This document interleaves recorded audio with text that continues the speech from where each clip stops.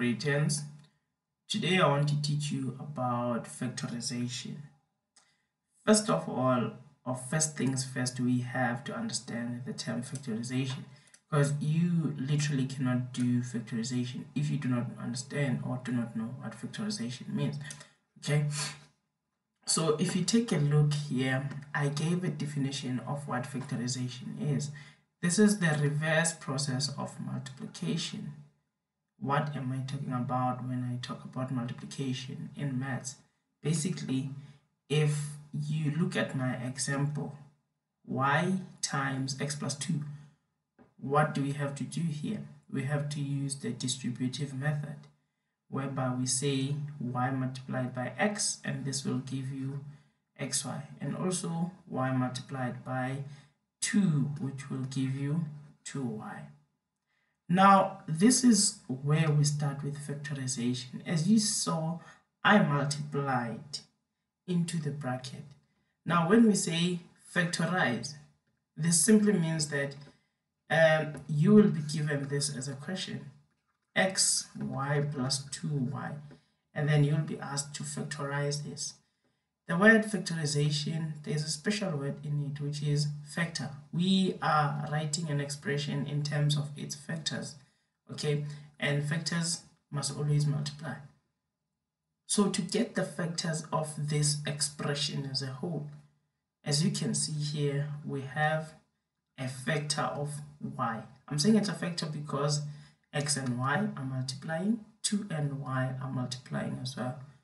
So to write this as factors, you have to put y on the outside of the entire expression. Initially, the expression was xy plus 2y, so we took out y. We are doing the reverse now. Meaning, if I take out y, I'll be left with x plus 2. Now, these are factors because between y and the bracket, there is a little multiplication there. Another way to explain what factorization is, I'm going to give a clear example. Okay, firstly, I want us to multiply this example of mine. Um, x minus y all to the power of 3. So x minus y all cubed. What I'm going to do is I'm going to write the same bracket three times according to its exponent as you can see here. There it is.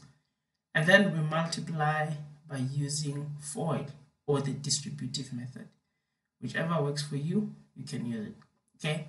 So what I'm going to do here I'm going to first multiply the first two brackets by using FOIL so this is going to give me x squared minus xy minus xy positive y squared now remember, this is only for the first two bracket.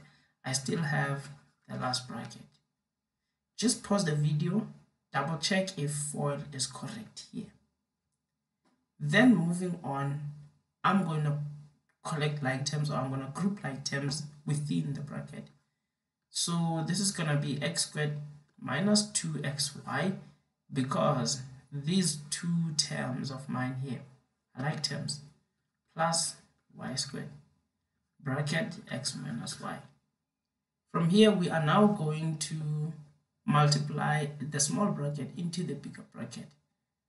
So using the FOIL method as well, this is going to be x to the power of 3 minus 2x squared y plus xy squared and then we multiply back uh, negative y meaning we are going to have minus x squared y positive 2x y squared minus y to the power of 3 when we look at our like terms we have those with x squared y x squared y and then we have other like terms um, that will be x y squared and x y squared.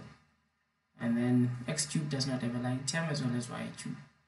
Therefore our final answer now is x to the power of 3 and the green ones would give us negative 3x squared y. The orange ones are going to give us plus 3xy squared and then the last term which is y to the power of 3 guys as you can see here I was just multiplying. I was just multiplying the given question which was x minus y all to the power of 3 when you multiply this when you take it into that we call it multiplication of expressions. Or however we can say we were expanding the expressions. Now when we talk of factorization we are taking many terms as you can see here.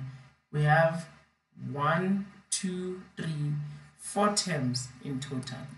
So we have got these four terms which we are taking to a single term. So when we talk of factorization uh, this is the word. Factorization or basically taking many terms to a single term or to one term. Please keep that in mind. I just showed this example so that you can see when we say factorize an expression at the end of the day or your last answer should be a single term only one term not many terms as you can see when we're multiplying thank you so much guys uh, see you on the next video where I'm going to explain the different types of factorization methods that we have. Cheers guys.